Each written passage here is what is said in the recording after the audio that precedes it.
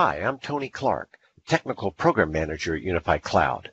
This video series will introduce you to Cloud Pilot, which is part of the Cloud Atlas integrated toolset.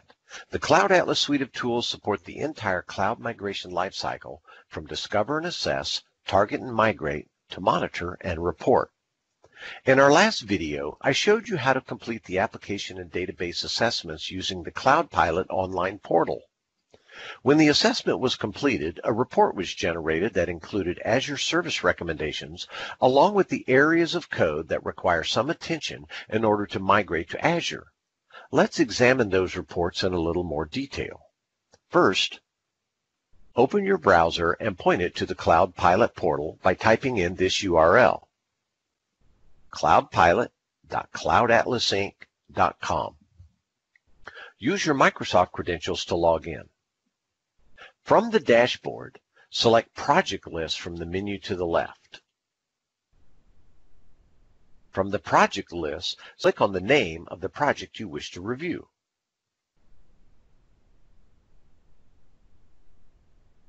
In the expanded window, click View from the View column in the Application Migration Assessment to open up the assessment report.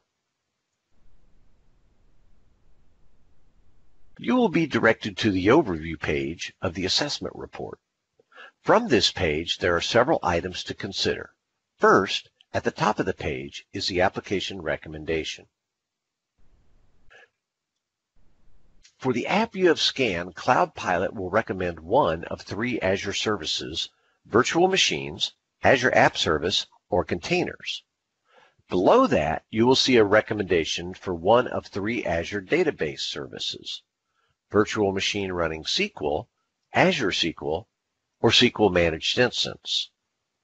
To the right of the application and database recommendations, you will see a high-level cost breakdown for each service type. The recommended service type will be highlighted in blue.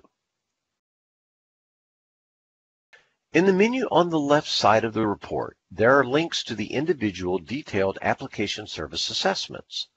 The detailed database assessment report project dependencies, security recommendations, and the Azure Compliance Report.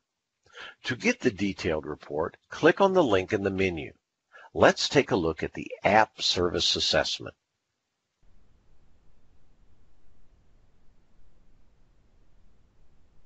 Below the recommendation window, you will see information such as the scan results, total estimated effort, and app service readiness.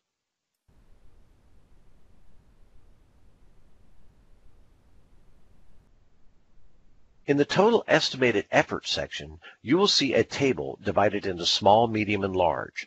The numbers in each column represent the number of changes that need to be made to the app.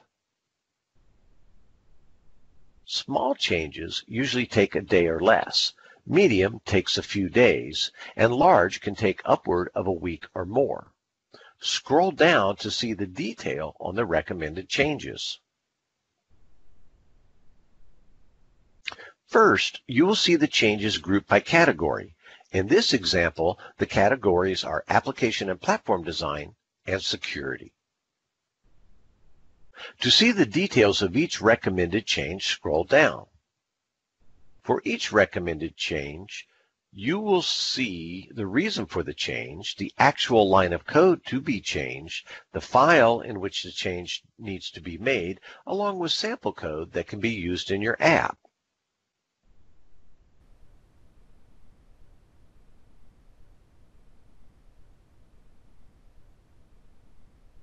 Next, we will examine the database assessment in more detail. Go back to the dashboard by clicking the green Back to Dashboard button at the top right of your browser window. From the dashboard, select the project list from the menu to the left. From the project list, select the name of the project you wish to review. In the expanded window, Click View from the View column in the Database Migration Assessment to open up the assessment report.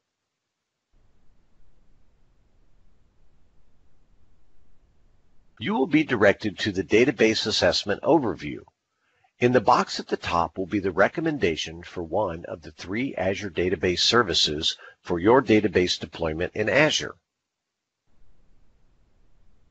Below that are charts that depict the number of changes needed for each service type and the estimated effort for each service type.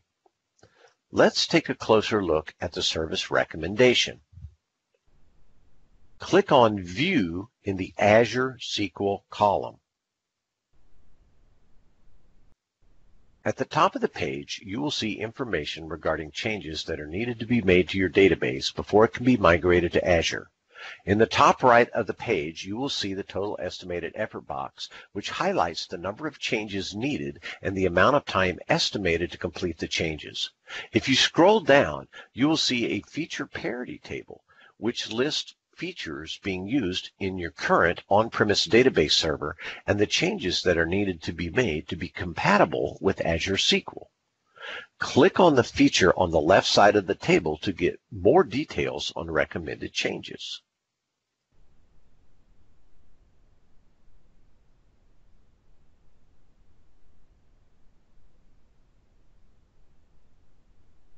From here, you can click the green Back to Dashboard button or pick a different assessment report to review from the menu on the left. In our next video, we will complete the review of the assessment reports by looking at the container and virtual machine assessment reports, security recommendations, and Azure Compliance Report. Please join me in the next video when you have the time. Thank you.